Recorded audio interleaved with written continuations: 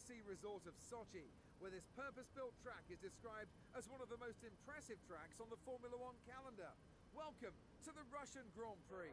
Lewis Hamilton starts on pole today, and with the blistering pace he's shown all weekend long, it shouldn't come as a surprise if he leaves the opposition in his wake during the race today. He's definitely going to be difficult to beat today, but anything can happen, so we'll have to keep a close eye on how this unfolds over the course of the race. Last year, Lewis Hamilton stormed to victory here, and the Brit will be hoping he can repeat that trick again today.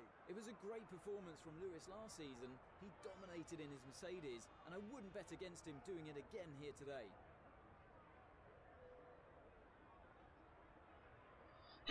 Siema, siema, witajcie wszyscy bardzo serdecznie w kolejnym odcinku. Jest to Grand Prix Rosji, moi drodzy, na torze Sochi.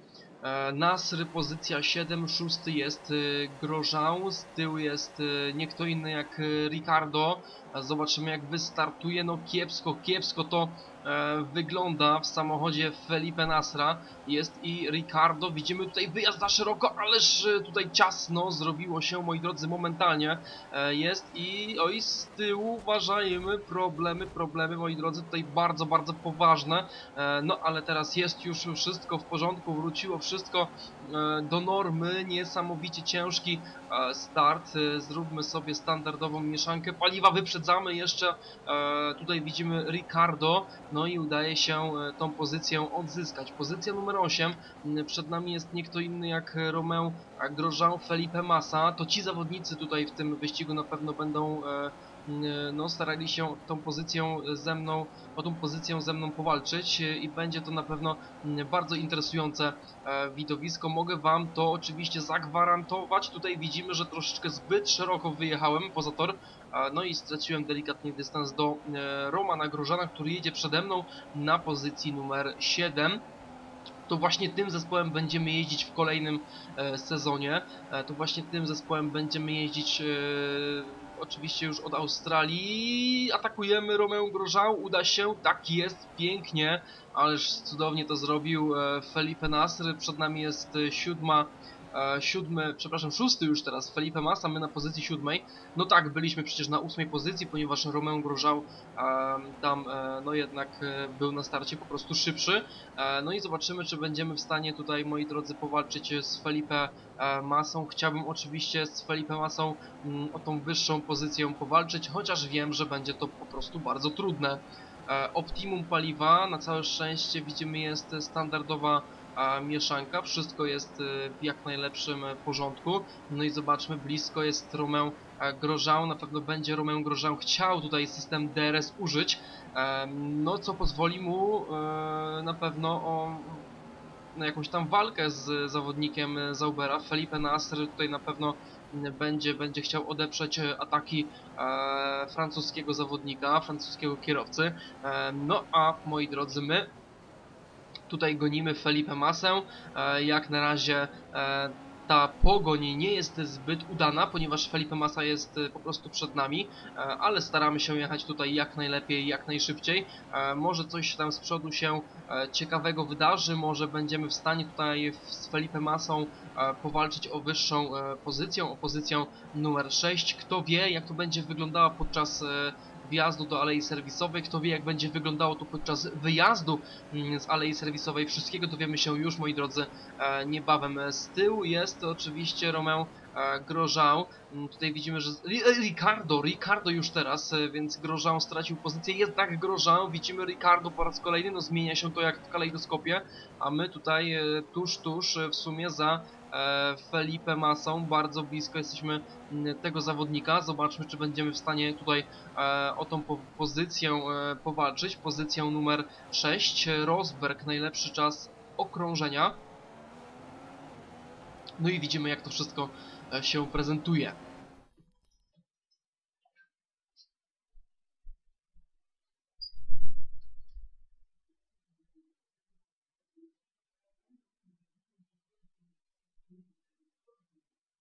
Thank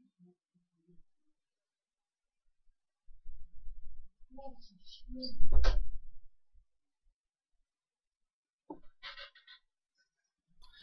Oczywiście e, już mi przeszkodzili, musieli wejść do pokoju, po prostu nienawidzę takiej sytuacji, e, ale tak to właśnie, moi drodzy, e, bywa, kiedy nagrywa się, kiedy ludzie są w domu. Bardzo mnie to irytuje, strasznie mnie to wkurza i po prostu najchętniej to bym wszystkim nakopał do dupy, kiedy mi wchodzą do pokoju, kiedy ja nagrywam.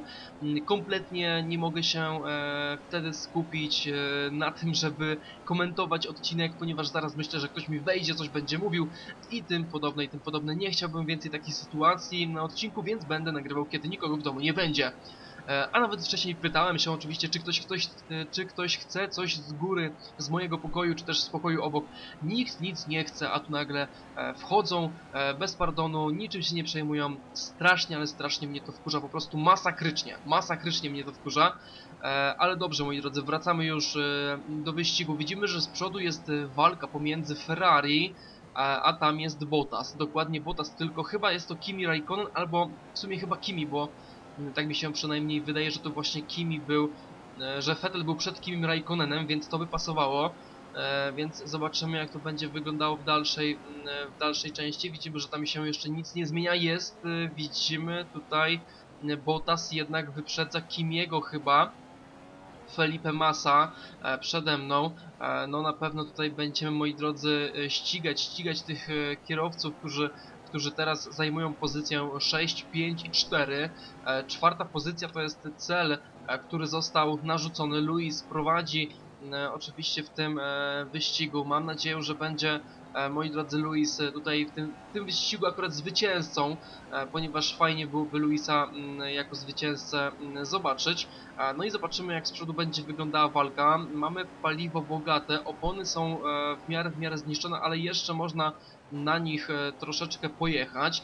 Mm, z przodu walka daje nam pewne możliwości, oczywiście możliwości zbliżenia się do tych, do tych kierowców przed nami to jest bardzo, bardzo trudne, ale jak widzimy dajemy sobie w miarę możliwości radę. E, nie jest, e, nie jest najgorzej. I tutaj e, widzę, że masa, masa jest naprawdę w miarę blisko. Dwie równe sekundy. Zobaczymy jak to będzie wyglądało w dalszej części tego wyścigu. Czy ta przewaga będzie się powiększać, czy też będzie, będzie moi drodzy, maleć. Dla mnie jest to bardzo, bardzo ważne. Ricardo jest z tyłu, więc jednak przed Romeo Grożał Daniel Ricardo, a my chyba zbliżamy się delikatnie do Felipe Masy. Za chwileczkę chciałbym sobie zobaczyć boks na szóstym kółku, mm, więc oczywiście będziemy wjeżdżać do Alei Serwisowej. Jeszcze dwa kółka musimy, musimy tutaj, moi drodzy, e, zrobić. Dohamowanie do tego prawego, ciężkiego zakrętu. Delikatnie, delikatnie szybciej o 0,2 sekundy niżeli Felipe Massa teraz, więc jest, jest nie najgorzej. Zobaczymy jak będzie po tej, e, po tej właśnie sekcji tych bardzo ciężkich zakrętów kończących e, w sumie mm, e, to okrążenie. Sektor numer 3 niezwykle, niezwykle szybki Felipe Massa, niezwykle szybkie bolidy z przodu. No nie mamy tutaj najmniejszych szans, żeby po prostu te bolidy dogonić.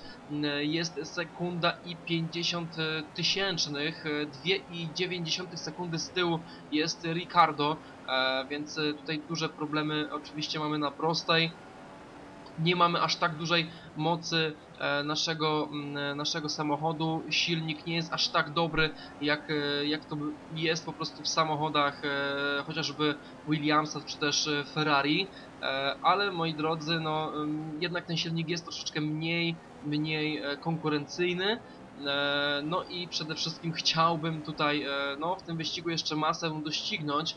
Może, może się to uda, zobaczymy. Jak na razie nie ma żadnych ostrzeżeń, jest sekunda e, i jedna dziesiąta, więc naprawdę jedziemy całkiem, całkiem szybko. Zobaczymy jak Masa będzie spisywał się na kolejnym kółku. Widzimy, że te opony w samochodzie Felipe Masy już tak jakoś chyba aż tak mocno nie trzymają i tutaj naprawdę zbliżamy się do brazylijskiego zawodnika. Będzie system DRS, więc będziemy mogli, moi drodzy, z tego systemu skorzystać. Zobaczmy, zbliżamy się do e, Felipe Masy. Powinno się udać. No, tutaj widzimy Masa walczy. No i jest pozycja przed Masą, czy jednak nie? Oj, tutaj blisko, blisko jest pozycja przed Masą. Przed nami jest Kimi e, Raikkonen, więc kierowca Ferrari, moi drodzy. Dokładnie, dokładnie miałem rację, kilka okrążeń mm, wcześniej, masa z tyłu.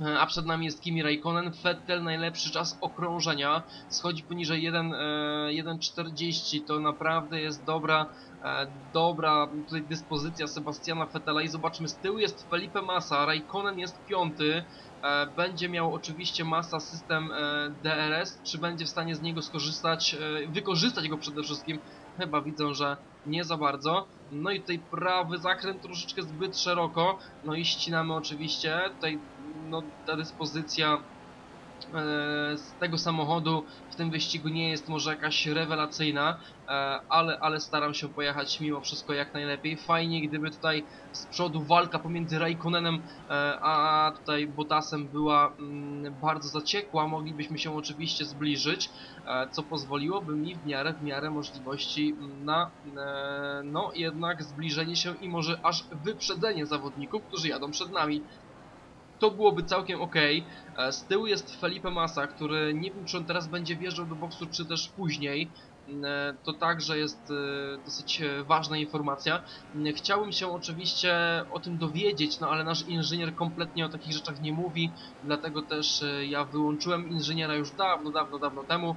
E, Strasznie mnie irytował, w dodatku nie było polskiego inżyniera, a, który po prostu przydałby się tutaj i tak to właśnie wszystko się prezentuje, moi drodzy. Raikkonen piąty, mm, z tyłu jest e, Felipe, Felipe Massa. Musimy wjechać do alei serwisowej po wymianę opon. E, opony są e, bardzo, bardzo mocno mm, zniszczone i zobaczmy. Wjeżdżamy do, wjeżdżamy do boksu. Tutaj na pewno, na pewno będzie bardzo ważny ten pit stop. I kto jest z tyłu? Jest także Felipe jest także Felipe Massa, jest widzimy tutaj chyba Lewis Hamilton, dokładnie, więc Lewis także w alei serwisowej. I my tutaj będziemy, moi drodzy, no mam nadzieję e, mieli bardzo szybki pit stop, najszybszy, 2,5 sekundy, nie jest e, tragicznie, aczkolwiek wiem, że mogłoby być po prostu lepiej, E, no i moi drodzy, tak właśnie wszystko się e, w tym e, tutaj wyścigu prezentuje, jak na razie pozycja e, dziesiąta, z tyłu widzimy jest e, zawodnik e, oczywiście e, Williamsa. Pierwszy prawy zakręt całkiem dobrze jest rozgrzać opony na samym początku. Tutaj widzimy, że na tym, na tym zakręcie dogrzewa się bardzo mocno prawa opona aż do czerwoności i to, to na pewno nie jest na pewno nie jest dobre. Ponieważ bardzo szybko się niszczy, a my mamy tutaj paliwo oczywiście bogate, nie wiem czy zobaczmy, a i ścinamy delikatnie, tego paliwa jest tutaj dosyć już mało, więc będę musiał tutaj przede wszystkim w tym wyścigu e, no e, cały czas się pilnować, jeżeli chodzi o ilość e, paliwa. E, No i tutaj widzimy lewy zakręt, moi drodzy, baton przed nami, no słabo McLaren, mam nadzieję, że przyszłym sezonie McLaren będzie po prostu jechał dużo, dużo lepiej, e, że w końcu zrobią bolid, który pozwoli im tutaj walczyć może nawet o czołowe e, lokaty. W ogóle ja jestem za tym, żeby e, było bardziej wyrównanie, no ale tak chyba być niestety, niestety nie może. E, Nie wszystko można w formule zrobić. E, Jedne zespoły są silniejsze, drugie słabsze. Taka jest e, kolej rzeczy. M, e, Trzeba po prostu się z tym wszystkim pogodzić i zespoły muszą walczyć, konkurować pomiędzy sobą, który bolid jest najlepszy, który jest z najlepszą aerodynamiką, który ma najlepszy silnik i tak dalej, i tak dalej, moi drodzy. Więc tutaj niezwykle, niezwykle mm, jest trudno, trudno o to, aby, aby w miarę wyrównane były składy, aby w miarę wyrównane były bolidy. Po prostu jest to praktycznie niemożliwe, praktycznie jest to niemożliwe. Widzimy szósta pozycja, jest szósta pozycja, jest i z przodu jest Kimi Raikkonen. Zobaczymy, czy uda nam się go tutaj chociaż trochę e, doścignąć. E, jest na pewno bliżej niżeli było e, wcześniej, więc no na pewno, na pewno nie będzie jakoś bardzo, bardzo źle. Miejmy nadzieję, że tutaj ustabilizujemy swoją jazdę. Oj, oj, oj, oj, oj, to było niebezpieczne. Kolejny prawy zakręt, moi drodzy, bardzo blisko jest już Kimi Raikkonen. Musimy uważać, nie mogę aż tak ścinać e, toru. E, no, tutaj musimy, musimy z Kimim powalczyć o pozycję numer 5. Z tyłu jest e, nie kto inny jak e, Felipe Massa, e, więc zawodnik, którego oczywiście wyprzedziliśmy. Mm, No i zobaczymy teraz jak to będzie wyglądać, jak będzie wyglądać walka z Kimim e, Raikkonenem, bo tutaj ta walka może właśnie dojść mm, do skutku, e, a ja mam nadzieję, że ta walka będzie Wam się podobać, że przede wszystkim do tej walki dojdzie. To dla mnie będzie bardzo, bardzo ważne. Nie ma systemu e, DRS, e, musimy, musimy jakoś e, tutaj bez tego systemu mm, no, poradzić sobie. No i zobaczmy kolejny prawy zakręt, moi drodzy, tutaj bardzo agresywna jazda zawodnika mm, Zaubera, delikatnie, delikatnie tą jazdą straciliśmy tutaj w tym sektorze, końcówce e, sektora numer 2, no i zobaczmy po raz kolejny, za szeroko wyjeżdżamy, no duże, duże błędy, e, to nie pozwoli nam tutaj walczyć z Kim Raikkonenem, a wręcz przeciwnie, masa może nas doścignąć i to będzie spory, spory problem.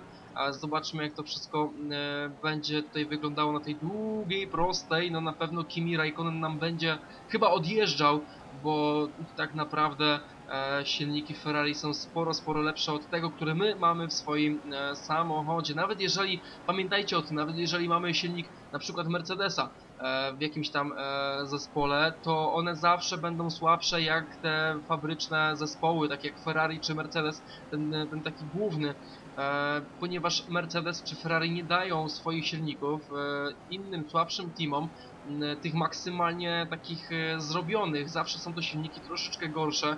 Zresztą o tym się mówi, że przecież Mercedes nie da na przykład Zauberowi czy, czy innemu teamowi, teamowi silnika, który będzie w pełni, w pełni przypominał ten z ich samochodu.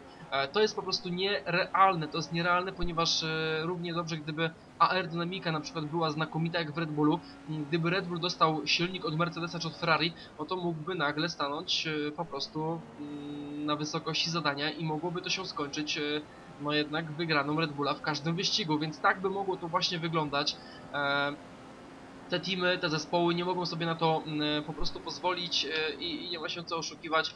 E, do takiego czegoś nigdy raczej e, nie dojdzie. Żadne pieniądze nie pozwolą na wykupienie silników danego zespołu, jeżeli jest to dany konkurent tej ekipy. No na pewno, na pewno jest wiele różnych takich rzeczy, które no, powodują, przechylają szale na jakąś tam swoją korzyść i nie ma, nie ma możliwości, żeby te silniki jakieś tam inne zespoły miały. E, tak więc tak to wygląda, tak to się prezentuje. Felipe Nasr, szósty, masa siódmy, z tyłu jest masa, on tutaj chyba nas nie będzie w stanie doścignąć 3,7 e, sekundy.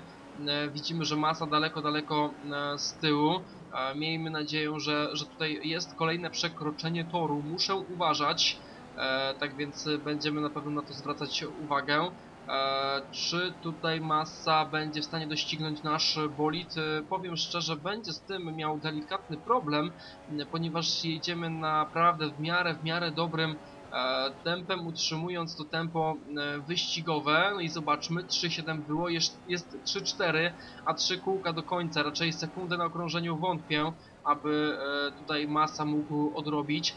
Jest to mało prawdopodobne, my tutaj utrzymujemy całkiem, całkiem dobre to tempo wyścigowe, zobaczmy ile jest paliwa, jest w porządku, więc, więc możemy włączyć oczywiście na bogatą mieszankę. Fajnie gdyby tutaj boty popełniamy, popełniały więcej błędów, gdyby coś tutaj się ciekawego w tych wyścigach działo. Ja oczywiście bardzo bym chciał, strasznie, strasznie, strasznie ubolewam nad takimi wyścigami, gdzie nic się nie dzieje, gdzie jest po prostu bardzo, bardzo, e, powiedziałbym spokojnie, bardzo tak przewidywalnie I, i to jest właśnie jeden z takich wyścigów, gdzie jest strasznie nudno. Ja mam nadzieję, że swoim komentarzem chociaż trochę e, tutaj e, daję wam e, jakikolwiek e, przyjemności z oglądania takiego odcinka, gdzie jest mało takich e, właśnie e, momentów walki. Chciałbym, aby to były dużo ciekawsze wyścigi, e, no ale gra jest jaka jest. Szkoda, że, że Codemasters po prostu robi takie gry, a nie inne, że ta formuła jest, jakby to powiedzieć, na takim schyłku e, nad przepaścią i, i no kiepsko, kiepsko się w to jeździ, e, kiepsko się w to trochę gra. E, mimo wszystko staram się zawsze jakieś te sytuacje powodować, nawet sam czasami coś tam zainicjuję, aby, aby było ciekawiej. E, gdybym jeździł tak przepisowo zawsze, gdybym jeździł tak mega, mega czysto, moi drodzy, no to byłoby tak nudno, e, byłoby tak nudno, że masakra. Ja w ogóle zastanawiam się nad kolejnym sezonem, czy w ogóle go nagrywać, e, czy w ogóle rozpoczynać wszystko od początku, znowu Australia, znowu Malezja, e, znowu e, wszystko to samo i tak naprawdę zastanawiam się nad tym wszystkim. E, chciałbym, chciałbym tutaj moi drodzy, aby, aby na pewno było e, to bardzo ciekawe, interesujące. E, nie wiem, co mógłbym tutaj jeszcze, szczerze mówiąc, zrobić z tą grą, żeby było ciekawiej. Może zanim rozpocznę kolejny sezon, może poczekam, będzie jakiś mod, który będzie coś do tej gry wprowadzał, bo przecież naprawdę kiepsko się tutaj jeździ. E, wybraliście Lotusa i może tym zespołem jeździłbym w kolejnym sezonie, e, ale właśnie może na jakimś modzie albo no cokolwiek, cokolwiek, może będzie jakiś mod usprawniający pewne rzeczy, może jakiś poprawiający kamerę, poprawiający zniszczenia, mm, e, tutaj agresywność botów jest całkiem w porządku, aczkolwiek fajnie byłoby gdyby jeszcze coś innego wprowadzał ten mod, na przykład jakieś tam większe wypadki i inne rzeczy. Byłoby to na pewno dużo bardziej ciekawe, ja, ja tutaj jestem przychylny czemuś takiemu i chciałbym takie coś sobie wgrać. Mam oczywiście oryginalną grę, więc nie byłoby żadnego problemu. Zobaczmy sobie ile paliwa jest w porządku, możemy dać bogate. E, więc tak jak mówię, no chciałbym, aby było to przede wszystkim e, dużo, dużo bardziej ciekawe, żeby to, e, żeby no w, ty, w tych wyścigach po prostu działo się dużo, dużo więcej e, takich, e, no, tak jak mówiłem wcześniej, wypadków, kolizji, m, e, może jakieś przebite opony. E, fajnie gdyby Codemasters w końcu naprawdę posłuchało swoich, e, swoich tutaj e, no może nie tyle widzów, tak jak jest na kanale, ale swoich e, mm, no tych klientów e, kupujących tą grę. E, uważam, że powinni naprawdę w 2016 roku wystrzelić taką petardą, e, bo ta gra e, jest cały czas e, taka jakby niedorobiona. Są błędy, w tej grze jest tych błędów bardzo dużo. Wolałbym poczekać dwa miesiące, ale mieć fajną, dopracowaną grę, którą ktoś tam przejedzie cały sezon, jakiś tester e, i po prostu spowoduje, że powie, tu jest błąd, tu jest y, tak, tutaj się dzieje takie coś. E, wprowadźcie więcej, więcej agresji, e, nie wiem, e, więcej, żeby czasami jeden, dwa bolidy odpadły z wyścigu, żeby na przykład stanęły na poboczu i się paliły. Nie wiem, żeby na przykład pękały częściej opony, nawet w naszym bolidzie, żeby na przykład podczas, kiedy jedziemy, na przykład odpadały części tej opony i na przykład kiedy prze, na przykład jedziemy już szóste kółko, musimy na tym szóstym kółku zjechać, jedziemy kolejne dwa kółka, to ta opona się na przykład zaczyna mocno rozwalać i zaczyna odpadać, odpadać z niej jakieś części, e, tam gumy. Byłoby to cudowne i tutaj na pewno e, przyczepność byłaby wtedy bardzo kiepska, takie tam wiecie rzeczy, które przyciągnęłyby waszą uwagę, to według mnie byłoby cool, e, no może tak trochę powiedziałem jak taki szpanerek, ale byłoby po prostu zarąbiste, gdyby takie coś e, w tej grze się pojawiło. Uważam, że e, tak samo e, oświetlenie w tej grze jest już coraz, coraz to lepsze. Lepiej to wszystko się prezentuje i muszę przyznać, że graficznie ta gra jest ok, aczkolwiek brakuje czegoś takiego, wiecie, takiego jaja. Na przykład, kiedy jedziemy e, na tym wyścigu, może, może nie, ale bo tutaj nie ma żwiru, ale przykładowo jedziemy na Mązie i zakręt, który prowadzi nas, nie wiem czy kojarzycie ten zakręt, który taki dwa prawe szybkie zakręty, które prowadzą nas na długą prostą, e, gdzie jest system DRS. Wyjeżdżamy ciut za szeroko e, i na przykład bolid no ch, chwycił oponą żwir, kiedy powinno się robić mega dużo kurzu, na przykład to byłoby fajne, bo na przykład kiedy bolid wpada w poślizg, wpada w ten żwir, to pełno tych kamyków jest na, e, na asfalcie, pełno tego jest wokół samochodu i pełno, pełno kurzu. E, byłoby to zarąbiste, taka wiecie, taka mgła z kurzu, no coś pięknego. E, fajnie, fajnie byłoby coś takiego mm, sobie zobaczyć, no i przede wszystkim kariera, safety car, to wszystko musi się pojawić w kolejnej odsłonie, bo inaczej tej gry na pewno nie kupię. E, na pewno tej gry nie kupię i będę piracił po prostu, bo nie ma innego sensu. E, szkoda, że Codemasters, nawet po, moi drodzy, zapłaciłem ponad 100 zł za tą grę, a po prostu nawet ustawienia mi się nie zapisują, więc to jest jakieś chore. I do tej pory jest to niezrobione, więc Codemasters ma to w nosie. E, I tutaj słyszałem wiele różnych głosów, że Codemasters po prostu ma w dupie swoich klientów i taka jest prawda, ja będę miał w dupie ich. I tyle. E, kończymy ten wyścig. E, jest to wyścig w Rosji, Soczi, a Soczi. Bardzo blisko był e, oczywiście Felipe Massa. Kończymy ten wyścig. E, tak to właśnie wygląda. Zobaczmy sobie klasyfikację. Jest pozycja e, dziewiąta. Daniel Kwiat jest przed nami z e, punktów 20 przewagi. Więc na tą ósmą pozycję może wskoczymy. Zapraszam Was na kolejny odcinek. Trzymajcie się, do usłyszenia. Cześć!